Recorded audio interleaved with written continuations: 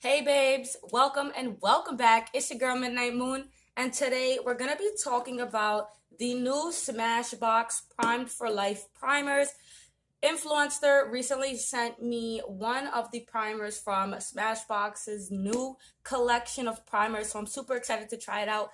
If you guys are interested in seeing this little demo review and exactly what these primers are, then just make sure you keep on watching. Don't forget to hit that subscribe button.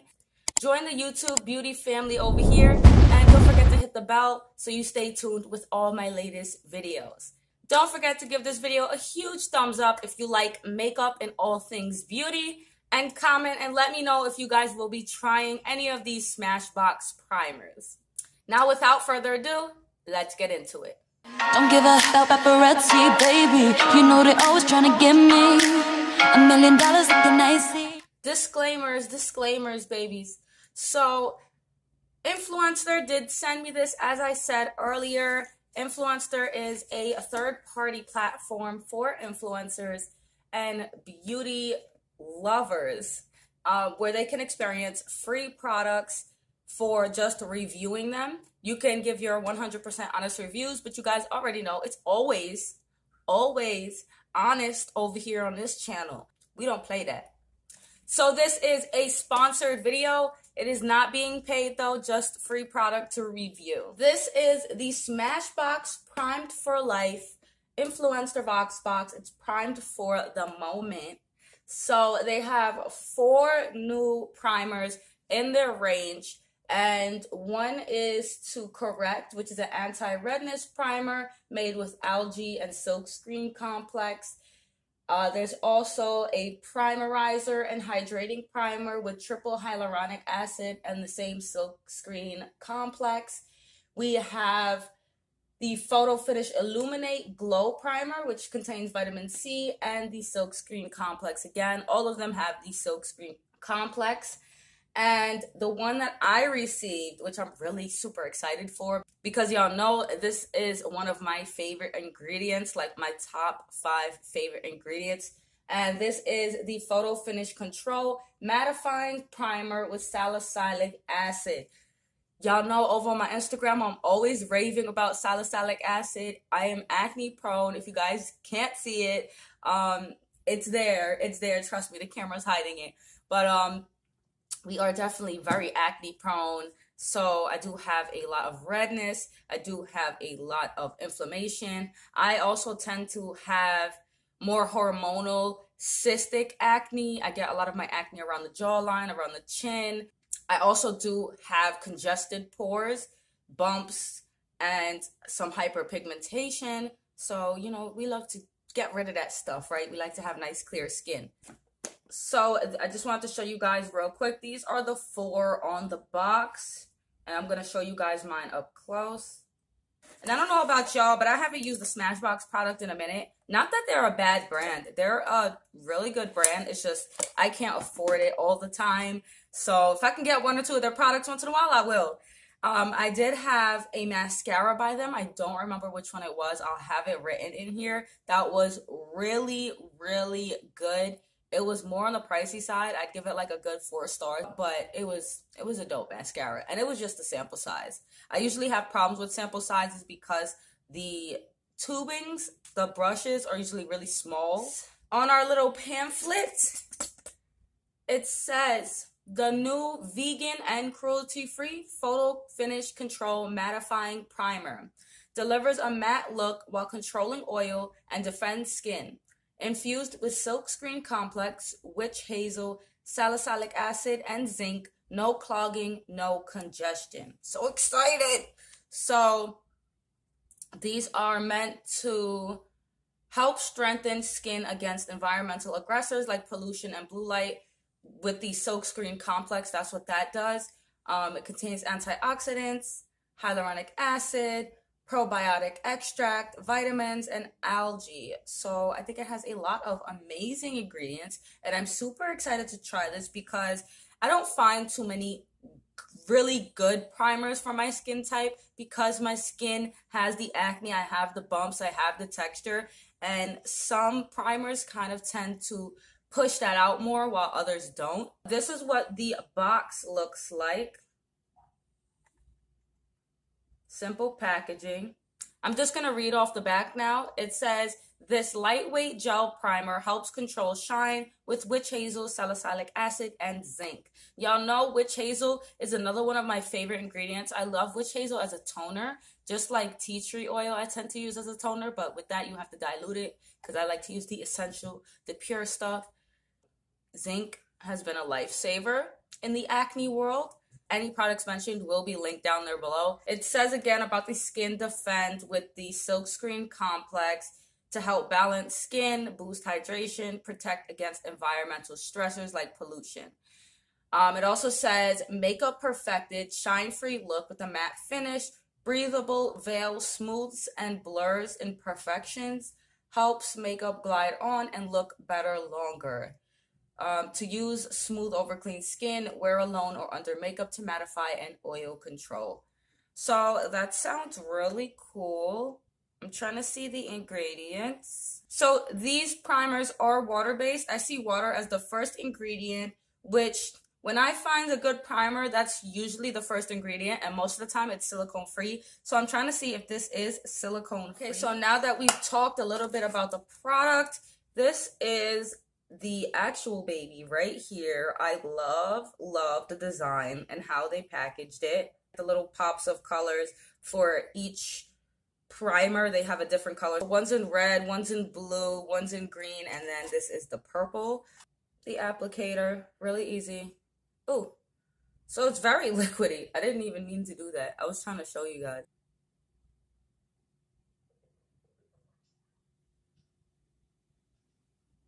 So that's how the primer looks.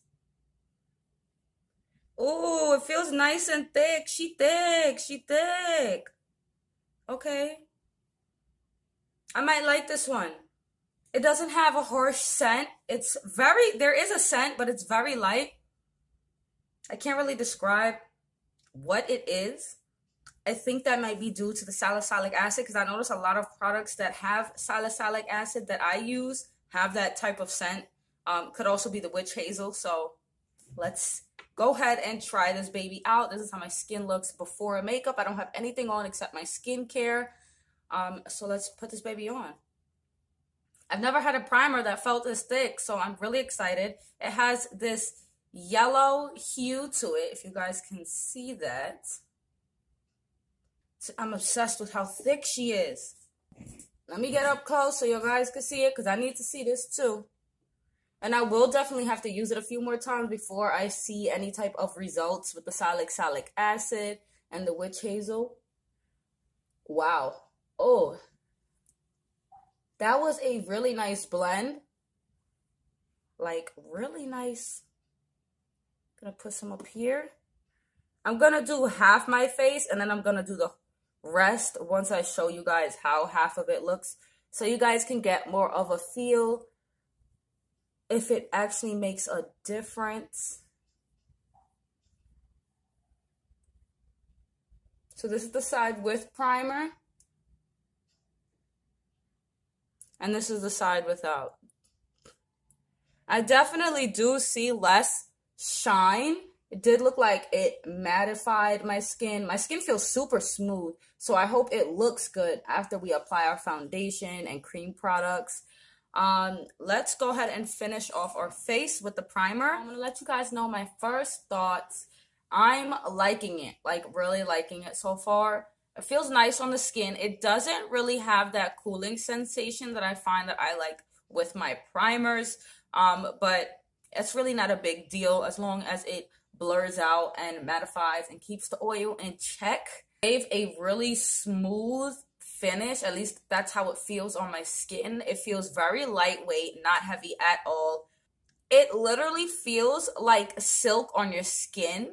And as it's setting in and drying down, I am noticing more of that matte finish. I'm going to go ahead and let it set down the rest of the way. We'll give it another couple minutes. It did mattify, as said. It took away a lot of the shine that I did have. It looks a little more blurred. Let's go ahead and put on foundation and see how it goes. We're back and this is how we're looking so far. Really like this so far. Again, I said that earlier, but now with foundation, I don't see a lot of the bumps unless I'm like super up close, but that's with any product. Our skin is not perfect, especially if you have bumps or craters or anything like that. Um, like I said, we are going to do a wear test and see how well this holds up, but lay down a nice smooth foundation on the skin. I'm going to go ahead and get into my cream products. So now I'm going to go ahead and put on my cream products as well as my eye base and do my brows.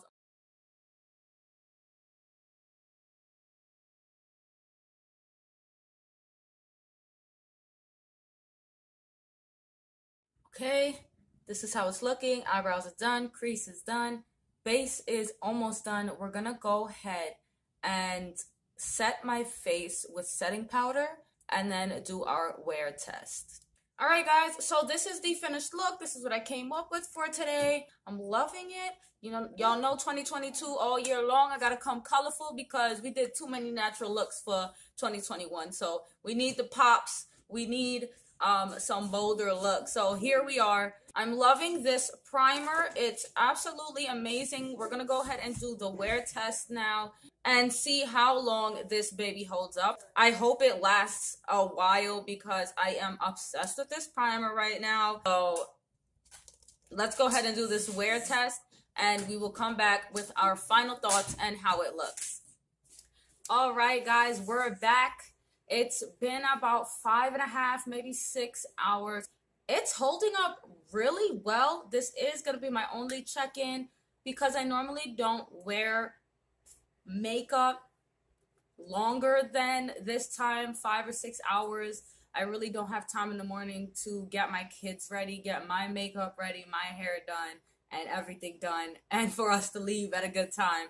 So, this is all I'm to do for five hours. It did amazing. I would say this is still a really good primer, even though all we did was a five hour test, because I have tested out other primers and they usually don't even last this long without looking patchy or caked up. I'm to move up a little closer for you guys you, so you could get a better look.